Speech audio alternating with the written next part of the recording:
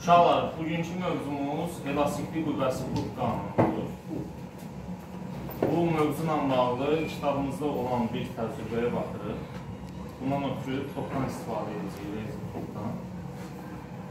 Bu topu yuxarıdan aşağı doğru masanın üzərinə buraxacaq və baş verənləri bir yerdə izləyəcəksiniz. Biz buradan gördük ki, top, rezin topumuz müəyyən kütləyə malik olduğuna görə ağırlıq qüvvəsinin təsiri altında müəyyən sərbəst düşmə təcili alır və masanın üzərinə dəyərək hərəkət sürətini dəyişdir.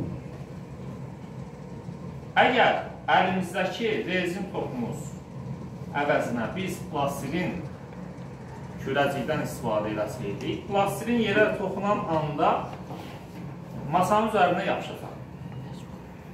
Bu, rezin top olduğuna görə bu proses bunun üçün də keçərlidir olmalı. Çünki yerə toxunan anda sanki həmin bu topumuz masaya dəyən zaman sıxılır və yenidən elastikli olduğuna görə genişlənərək yerdən sanki təkan verərək yuxarı doğru itələnir.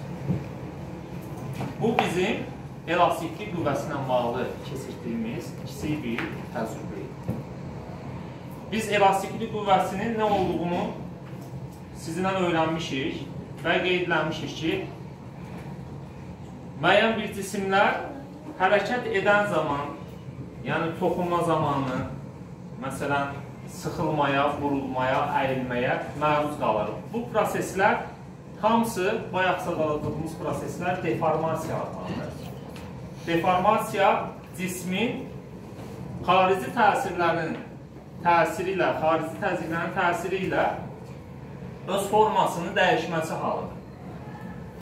Cisim öz formasını dəyişirsə, ya yenidən öz formasını bərpa etməyə çalışır, ya da bayaqki misalımızda gördüyümüz kimi sizinlə ifadə elədiyimiz tərzdə, məsələn, top misalında gördük ki, öz əvvəlki formasını yenidən qaytarmalı. Sadəcə bu elastik cisim kimi qəbul edik bunu.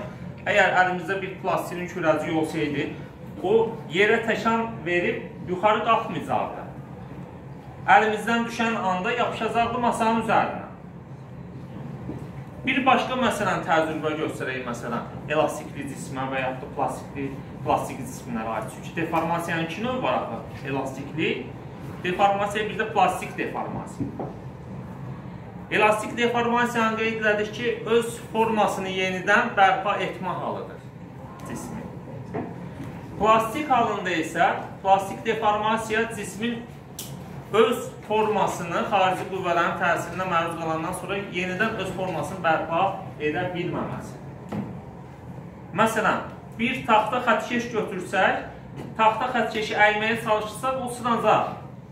Yenidən geriyə qayıtmayacaq. Bir başqa məsələn, elastik bir xətkeş verin mənə. Baxın, bu xətkeşimizdə elastik cisimdir bu.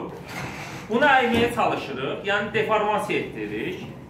Bayaq qeydlədim axı sizlə ki, cisimlərin əyilməsi, sıxılması, vurulması, bunlar deformasiyanı verir bizə. Əyməyə çalışdıq və əlimi çəkdim, bu əvvəlki vəziyyətini yenidən bərpa etdi. Demək, bu cismimiz elastik cism oldu. Proses isə elastik deformasiya aiddir. Əgər taxta xətkeşdən, dəmir xətkeşdən istifadə eləsək, əyməyə çalışsaq, o əvvəlki vəziyyətini bərpa etməyəcəkdir. Elastiklik qüvvəsinin düsturu da F bərabərdir mənfi KX.